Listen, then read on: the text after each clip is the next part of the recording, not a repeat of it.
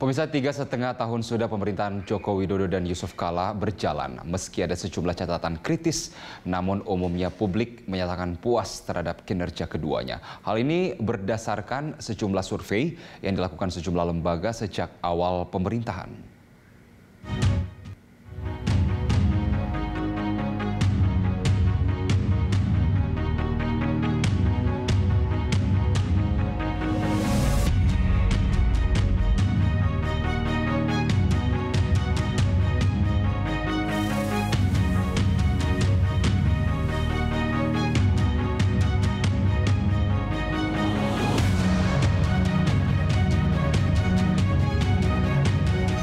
Hampir empat tahun Joko Widodo dan Yusuf Kala memimpin bangsa Indonesia.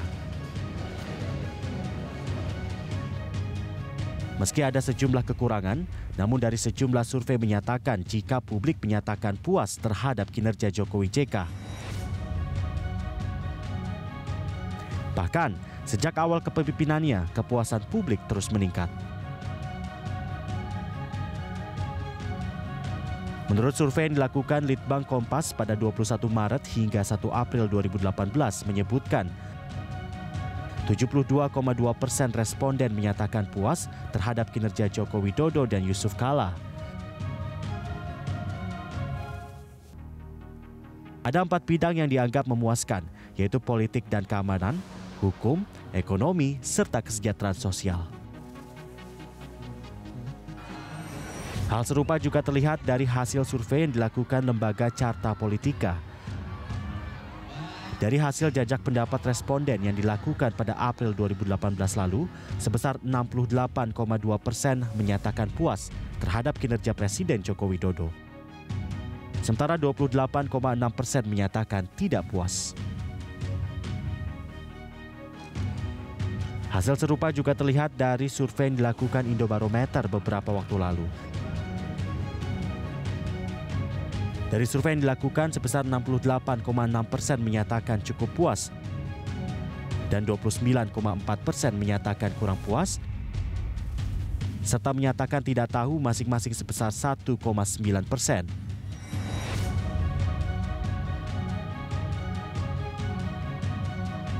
Sementara untuk kepuasan publik terhadap pasangan Jokowi JK menyatakan 65,1 persen cukup puas dan 32 persen menyatakan kurang puas, serta 2,8 persen tidak tahu.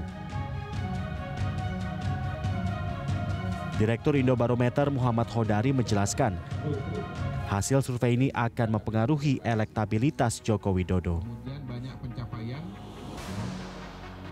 Saya melihat bahwa uh, faktor isu-isu aktual seperti apa ya kesenjangan, kemudian tenaga kerja asing, itu punya kaitan yang cukup apa kelihatan polanya dengan elektabilitas. Jadi yang misalnya yang mengatakan bahwa uh, Indonesia sekarang banyak tenaga kerja asing terutama dari Cina itu kecenderungan pilihannya itu kepada Pak Prabowo ya mayoritas dan sebaliknya yang mengatakan uh, tenaga kerja asing itu masih kecil dan belum berbahaya itu cenderungannya kepada Pak Jokowi. Jadi saya melihat di 2019 ini kita uh, akan memasuki era perang isu atau perang wacana. Dari hasil survei lainnya, Joko Widodo menempati urutan keempat atas kepuasan publik dari tujuh presiden yang pernah memimpin Indonesia. Di mana urutan pertama ditempati oleh Presiden Soeharto, lalu diikuti oleh Presiden Soekarno, kemudian Presiden Joko Widodo, lalu dilanjutkan oleh Presiden SBY, B.J. Habibie, Abdurrahman Wahid, dan terakhir ditempati oleh Presiden Megawati Soekarno Putri.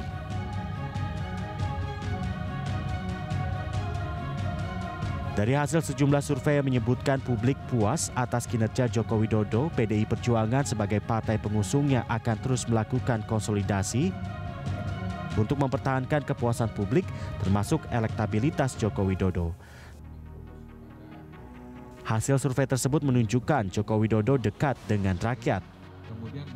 Kita juga harus melakukan suatu konsolidasi supaya ini jangan mempengaruhi uh, politik eh, apa namanya ekonomi secara keseluruhan karena biar bagaimana misalnya yang import dan ekspor pasti sangat terpengaruh.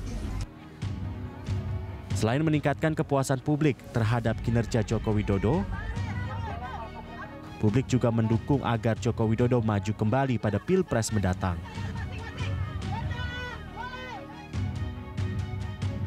Dari survei yang dilakukan, sebanyak 51,7 persen responden menyatakan akan kembali memilih Joko Widodo. Bahkan, elektabilitas Joko Widodo masih unggul di sejumlah survei.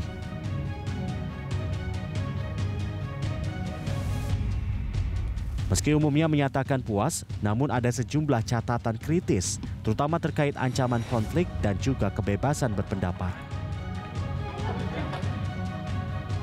Sementara indikator ekonomi yang sedikit mengalami pelemahan terkait masalah swasembada pangan, lapangan kerja, harga barang, dan juga nilai tukar rupiah.